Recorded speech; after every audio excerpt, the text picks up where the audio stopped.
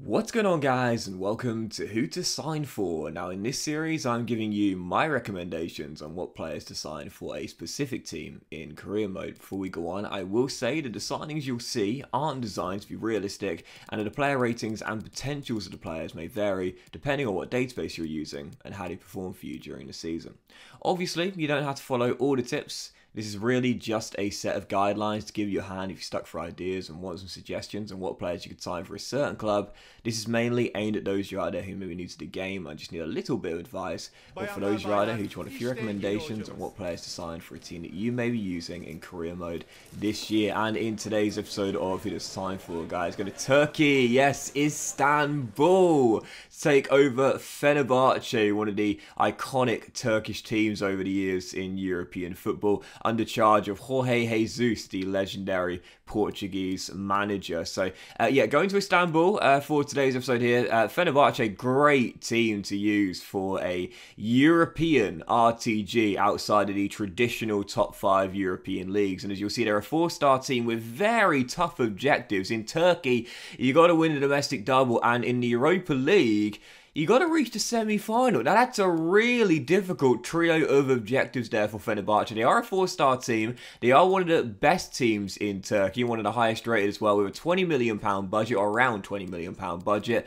But even so, tough objectives. Win a domestic double and to reach the semis of the Europa League, that's not going to be easy. Fenerbahce failed that in real life, and your group has got Olympiacos, Royal Antwerp, and the winners Eintracht Frankfurt as well. Very tough group to get out of, let alone going all the way to the semi-final. So yeah, really tough objectives, but a great team to manage Fenerbahce. You know, a big, big history, uh, of course, in Istanbul, in uh, in Turkey. I was actually there very recently, well, back in March. Um, you know, it's uh, it's a lovely ground. You got lovely kits. I really like Fenerbahce's away kit, I must admit, but it is a team that does need a little bit of a rebuild. Now, there are a couple of decent young players at Fenerbahce. Turkey do have a couple of decent youngsters uh, coming through the ranks in the Turkish league right now. One of those is one of the free players their deals that come the end of the year.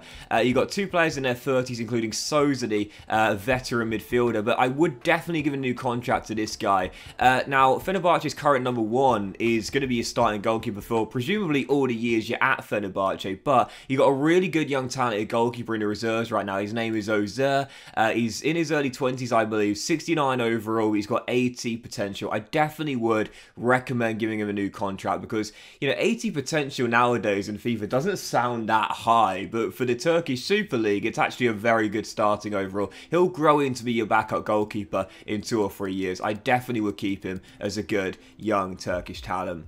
But for sales with Fenerbahce, now again, they're a four-star team with a 20 million pound budget budget, but you'll notice that there aren't that many players you can raise an astronomical fee for. Most of the players in Fenerbahce's team, you know, obviously because they are a four-star team, are around the mid-70s overall. And the players you're going to sell are the older players, of course. You know, Filip Novak, the left-back here, Tisserandi, centre-half, who we're going to sell to Rangers. Uh, Enner Valencia got his release clause met. He's also in his 30s as well. We're not going to see much money in return for these players here. Valencia was our highest sale, I believe. He went to Norwich City for 7.8 million pounds. But yet most of the sales are going to raise us around 2 million pounds, 3 million pounds. It's not a lot, as we know, in modern day footballers. Philippe Nova went to Marseille, and Tisserand went to Ibrox as well. So we're not we're not getting much money for these players, but the key, ultimately, the key is just making sure we can get something and get their salaries off the books. What you'll notice with Fenerbahce, and I noticed this with the other Turkish team I'm about to do who to sign for episode with coming very soon, is that the salaries of the players are really, really high. They're very, very inflated in the Turkish Super League. I'm not sure if that's for every team, but it certainly is for the two teams I use. And you'll notice, for example, for Aziz here going to PSV Eindhoven, um, you know, he's he's a he's a decent player. Don't get me wrong, but you can certainly get better. And he's on 30 grand a week. It's a really high salary for someone of his ability. Because in FIFA career mode, you can put players on reasonably low wages nowadays, and it doesn't really matter just how good they are you can normally negotiate an okay salary, which would be lower than what you consider realistically. We're going to sell him though to PSV Eindhoven and Luiz Gustavo to Ajax for four and a quarter mil as well. But in terms of signings for Fenerbahce, that's that's why you're here. I, I definitely would say with Fenerbahce again, they don't need a major rebuild, but they do need some really decent young talent because there are a couple of youngsters here in the system, but you want to bring in a few more, and it's always nice to bring in some good young Turkish talent as well. One player I would definitely recommend is this guy right here. Now, Fenerbahce, of course, playing a three-man midfield. I do believe you always need a good anchor man in a midfield trio, and I think this guy will be a really solid pickup to replace the aging Luiz Gustavo. We're going to sell him to Ajax and replace him with this guy, Salih Ozcan of FC Köln. Uh, he is a young Turkish holding midfielder. He starts off 77 rated, so he's one rating higher than Luiz Gustavo now, but he's also only 23 years old and a decade younger as well, so he's the perfect replacement for the Brazilian Luiz Gustavo. Very solid solid passer of the ball, good defensive stats. I love the high stamina and the high defensive work rate as well. And really, all round, he's pretty solid everywhere. So to replace Luiz Gustavo, 10 years younger, a rating higher, and he's got 81 potential as well. Solid player to pick up as we sell Aziz here to PSV Eindhoven. But again, with Fenerbahce uh, playing a 4-3-3, I, I, I, said, first of all, you got to get yourself a new anchor man. We did that. And I do recommend a new striker with Fenerbahce as well. We, of course, let Enner Valencia you go to Carrow Road. You want a striker that can bang the goals in in the Super League right from the very get-go, doesn't need a grace period, can come straight in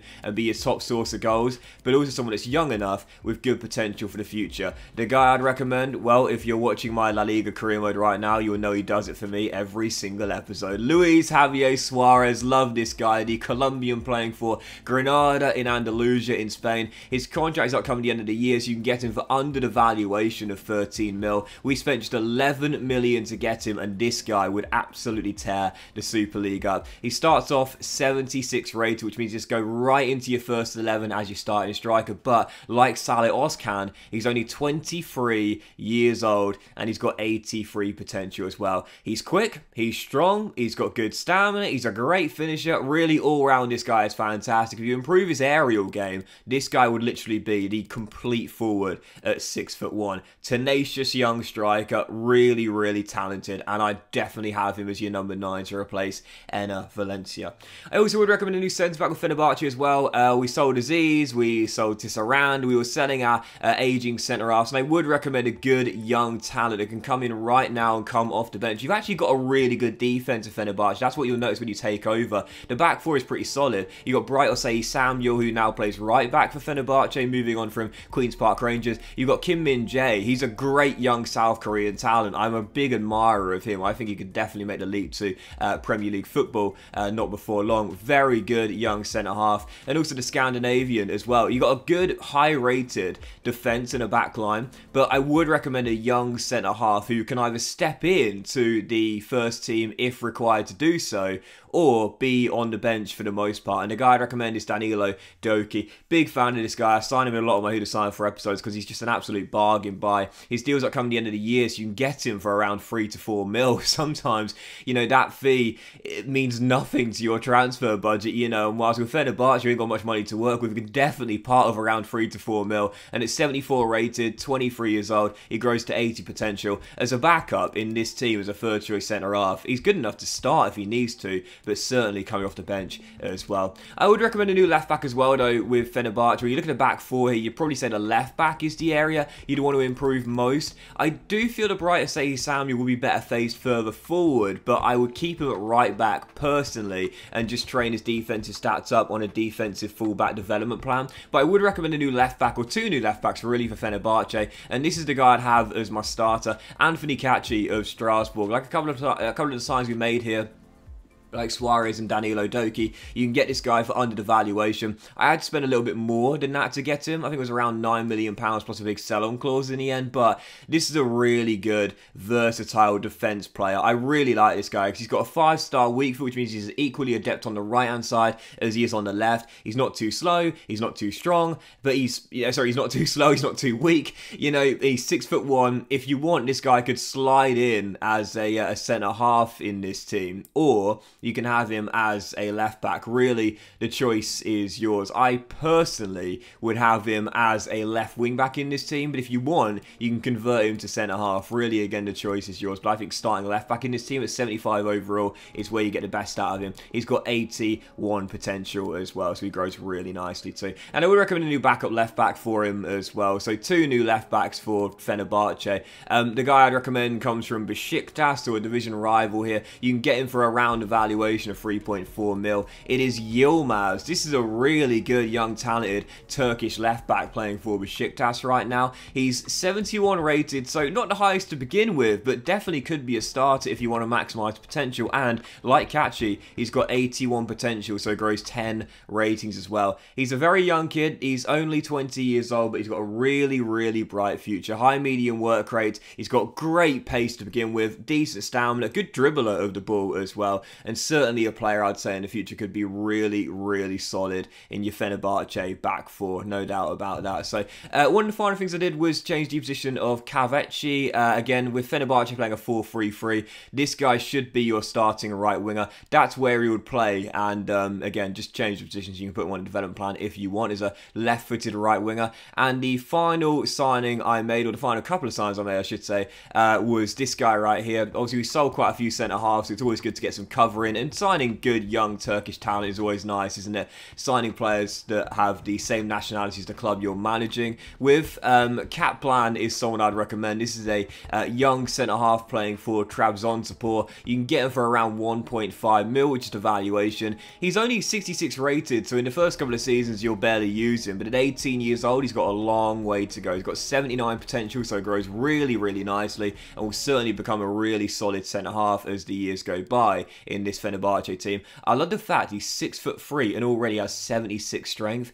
At 66 overall and 18 years old, this this guy could get incredibly strong as the years go by. And six foot three is obviously a really good height as well. And I would also recommend a couple more good young Turkish talents. Uh, one is this guy playing for Arminia Bielefeld. It is Shem Ali Dogan. Uh, he is a 17 year old, 59 rated striker, so incredibly lowly rated. The benefit of that means you can get him on a really cheap deal. We spent just 600 grand to prize him away from Arminia Bielefeld and bring him to Fenerbahce. Great young talent though, because he's got 82 potential. That's right, he grows 23, 23 ratings to 82 when he's peaking. And in the future, he'll become your stand-in for Luis Suarez. Maybe right now, you're barely using him with such a low overall, awful physicals, and not much to write home about in the technicals either. But as the years go by, he'll grow into be your backup striker with Luis Suarez. First two or three years, you'll barely use him, you'll probably loan him out, but eventually, eventually in time, he'll become your solid backup striker for the Colombian Suarez. And the final signing I made was this guy from Sassuolo. It's uh, it's Mert Muldur. I was trying to sell my last player on the transfer list, Borjan, uh, the Canadian goalkeeper, but nobody nobody wanted him. I tried swapping him, I tried selling him, nobody wanted him. So in the end, I said, okay, fair enough. Do you know what? You can take Sangare. Obviously, with uh, Fenerbahce, they've got Bright Say Samuel and also Nazim Sangare as well. Sangare is an okay backup right back. To be fair, he's 71 overall, I believe, and he's in his mid to late 20s. He's still got a couple of years before he starts to show signs of decline. But Mert Muldur is several years younger, the same in terms of starting ability, but also has 80 potential as well. So we swapped Sassuolo, one Turkish right back for theirs, and in the end we signed Mert Muldur for a decent transfer fee, very very low rate, uh, sorry, very low transfer fee, all things considered, with um, with our current right back going the other way. And again, he comes in 71 overall, 22 years old, and what I like about him is the same what I like about Caci as well. He's six foot two with medium high work rates. He's got got some okay physical stats, and if you want, you can train him to centre half, and he'd be just as adept in the middle of the back four as opposed to on the right hand side. Even so, Fenerbahce, as you'll see, was out with the old and in with the new. All the players we sold are either in their late 20s or for the most part in their 30s, but the young talent we signed was fantastic. Ozcan, Dogan, Yilmaz, uh, really good young Turkish talent. Suarez and Caci were the, uh, and Danilo as well, were the only players outside of Turkey uh, that we signed. But when you look at the first 11, it really improves. Suarez now leading our line, Ozcan replacing Luiz Gustavo, and we've also got on the uh, on the left-hand side of our back four, Anthony Caci. Off the bench, we've now got Danilo Doekhi and Yilmaz as well, and in the reserves for the future, we've got Kaplan, we've got Muldur, and we've got Dogan with super high potential as well. So we improved our first team, we improved our bench, and we improved our reserves. Improvements all around Fenerbahce, and we made the team far younger as well. The only question is, can we hit those really tough objectives? Win a domestic double in Turkey and reach the semi-finals of the Europa League. Very tough indeed. Well, as per usual, we're simulating the end of the season, and as you can see, well, I felt confident we'd won the league, but as you'll see at the top of the May fixtures here, we did get knocked out of our Europa League group, went into the Europa Conference League, and unfortunately went all the way to the semis, only to lose to the Belgian side. It was a win in the Super League, and I felt very confident indeed. So I was watching a simulation, and we barely lost. I was, I was thinking, have we even lost a game? It came to February, and I think we were still undefeated. But even so, we lost three times in the end, but were crowned champions. We dominated the Super League in the end to win the Turkish First Division. Not a surprise, though. Again, Fenerbahce are one of the strongest teams in Turkey, and a great attack as well, so that was really nice to see. But the cup was a major failure though. We were asked to win this as well. We were knocked out in the last 16 of the Turkish Cup. Trabzonspor won it in the end, but that was a big failure. As for the Europa League, I said just getting through the group would be tough. You got Olympiacos, Frankfurt, and Royal Antwerp. Very tough group there in the end. We did finish in third. That put us into the Europa Conference League. We made it past the Romanians Cluj. Then we beat Roma. Then we beat Copenhagen as well, but unfortunately lost to KAA Ghent on penalties what could have been. The Belgians beat us on the spot kicks to make it through to the final and ended up coming up short to Leon. So in the end, as you'll see, technically we failed three of our four objectives because when you drop into a lower European competition, if you get knocked out in the group stage of the Champions League or the Europa League, for example, you get given a new objective for the new European competition you go into. In the end, you know, we were asked to reach the final of the Europa Conference League and we were one penalty shootout away from doing that. The Europa League was always going to be a tough objective anyway, so getting through the group would have been a success in its own merit, at least I would say so, with Fenerbahce having to take out Frankfurt, Olympiacos and Royal Antwerp as well. But the Turkish league um, was the success of the four. And again, not a real surprise. I, I, would say with Fenerbahce in the first season, I wouldn't worry too much about the European objective. It's going to be very, very tough to, well, make it out of the group first and foremost, but also go far enough to the semi-final as well. With Fenerbahce, if you are doing a Fenerbahce career, I, I recommend in the first season, just, just go for that domestic double. Don't worry too much about Europe. Go for that domestic double. In the end, if you win one of two and not both, it should be enough to keep your job, and it was for us as well. We won the Super League, we dominated. Yes, the Cup was, let's be honest here, the most embarrassing failure of the three we failed, but the league was a dominant display, and uh, that will be enough to keep your job. So, as I, as I often say, if you win the league and you hit your league objective in the first season, nine times out of ten, you kept on for a new season. So, there you go. Great team for an RTG, though, Fenerbahce. Istanbul, lovely city, great stadium. Sadly, it's not uh, the real stadium in the game, but a decent budget start off with around 20 million million. A little bit of a rebuild need, and with some great young Turkish talents to pick up, they're a really fun team to assemble a new core as well. Great team to use for a non-traditional European league outside of the Big Five for an RTG in Europe. Fantastic side, great strong rivalries, lovely kits, definitely worth giving them a go. But that will end today's episode of Who to Sign For, guys. Big thank you for watching. Really hope you have enjoyed it. If you have, then please do drop a like. Much love to you all. Have a fantastic day, and I'll see you for next episode of Who to Sign For very soon.